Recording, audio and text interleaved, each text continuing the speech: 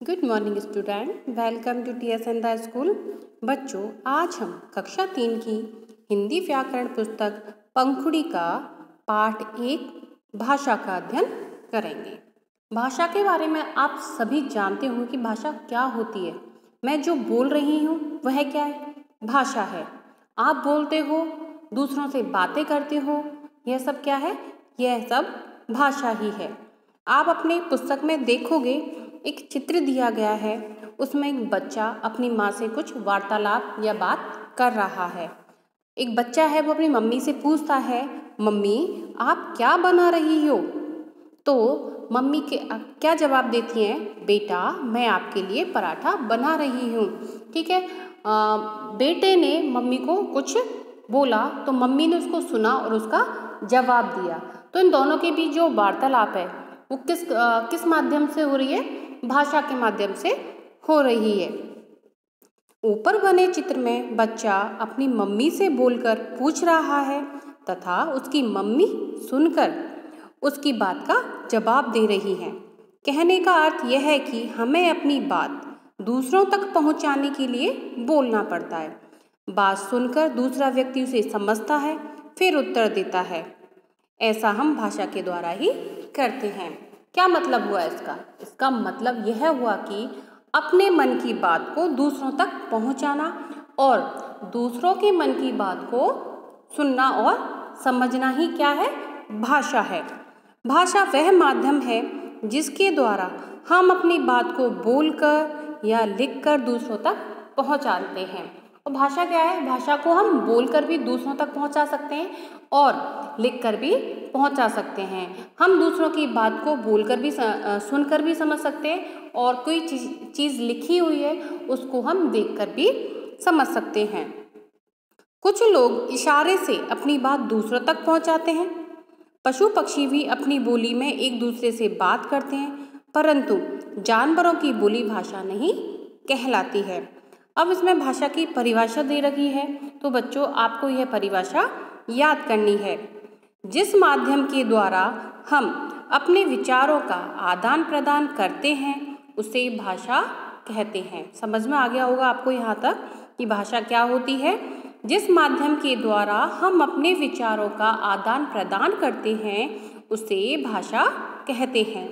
अब पढ़ते हैं हम भाषा के प्रकार।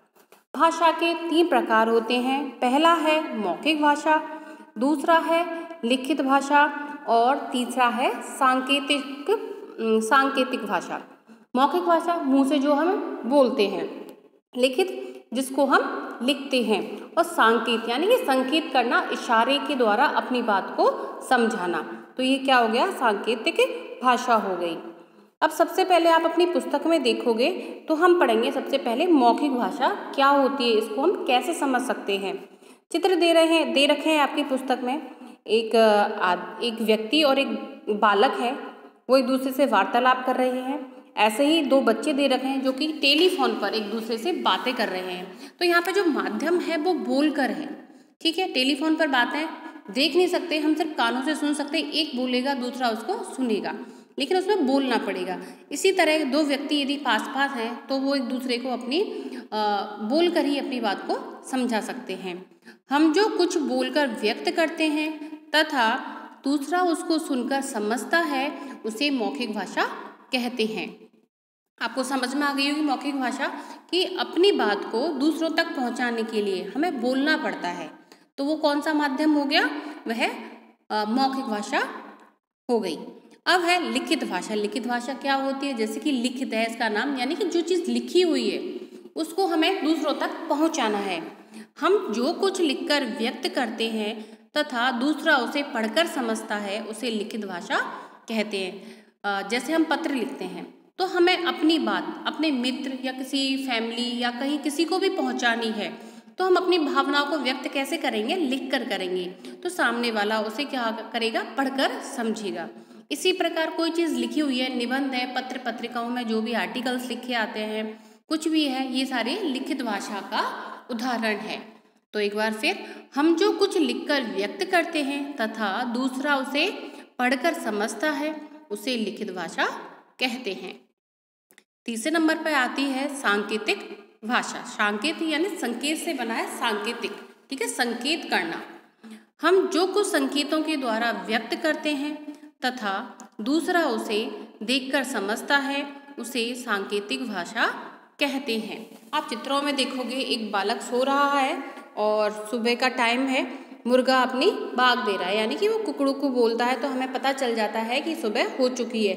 और दूसरे चित्र में देखोगे ट्रेन में जो गार्ड होते हैं, जो झंडियाँ फहराते हैं तो इसका हम क्या मतलब समझते हैं कि आगे कोई खतरा नहीं है। गाड़ी, जो ट्रेन है या जो रेलगाड़ी है, वो आगे से आराम से आगे जा सकती है, उसको जाने में कोई प्रॉब्लम नहीं है। तो ये हो गए भाषा के प्रकार। कौन कौन से होते हैं? मौखिक भाषा, लिखित भाषा और सांकेतिक भाषा। अब हम आगे बढ़ते हैं। विभिन्न भाषाएँ। कौन कौन सी हैं विभिन्न भाषाएँ? भारत के विभिन्न राज्यों में अलग अलग भाषाएँ बोली जाती हैं। जैसे पंजाब में पंजाबी, गुजरात में गुजराती, बंगाल में बंगाली, केरल में मलयालम, असम में असमिया और तमिलनाडु में तमिल आदि भाषाएँ बोली जाती हैं। क्योंकि हमारा जो भारत देश है, वह बहुत बड़ा है। उसमें अलग अलग राज्य हैं अलग अलग प्रांत हैं और उन प्रांतों में अलग अलग भाषाएँ बोली जाती हैं। अब वह राष्ट्रभाषा क्या होती है? जब कोई भाषा किसी राष्ट्र के अधिकांश भूभाग पर बोली जाती है तो वह उस राष्ट्र की राष्ट्रभाषा कहलाती है। समझ में आया आपको बच्चों? कि जब कोई भाषा किसी संपूर्ण राष्ट्र के अधिकांश भाग पर बोली जाती है तो वह उस राष्ट्र की क्या कहलाती है? राष्ट्रभाषा कहलाती है। भारत में हिंदी को राष्ट्रभाषा के रूप में स्थान दिया गया है। अब आपसे पूछा जाए कि भारत की राष्ट्रभाषा कौन सी है तो आपका क्या जवाब होगा? तो आपका जवाब होगा कि भारत की राष्ट्रभाषा हिंदी है। यह देवनागरी लिपि में लिखी जाती है। दूसरा सवाल उठता है कि हिंदी की लिपि का नाम क्या है? तो क्या है हिंदी की लिपि का नाम? तो आपका जवाब होना चाहिए कि हिंदी की लिपि का नाम देवनागरी है, क्योंकि यह देवनागरी लिपि में ही लिखी जाती है। अब लिपि क्या होती है? हर भाषा को लिखने का ढंग भी अलग अलग होता है। हम बोलते हैं अलग अलग तरीके से बोलते हैं, ठीक है? अपनी भाषा में क्या करते हैं?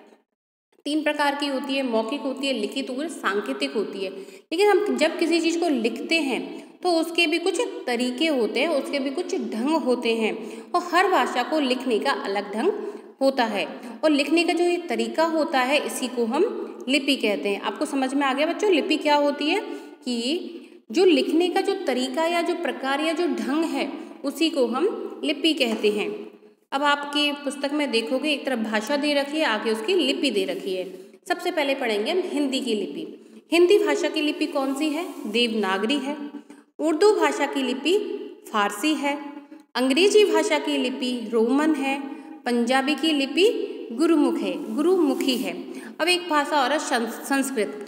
संस्कृत संस्कृत भाषा की लिपि भी देवनागरी ही होती है। तो इस प्रकार हिंदी और संस्कृत भाषा दोनों देवनागरी लिपि में ही लिखी जाती हैं। इन दोनों की लिपि का नाम एक ही है और वो क्या है? देवनागरी। तो बच्चों, आज हमने इस पुस्तक में पढ़ा भाषा। भाषा के प्रकार, लिपि, राष्ट्रभाषा आदि।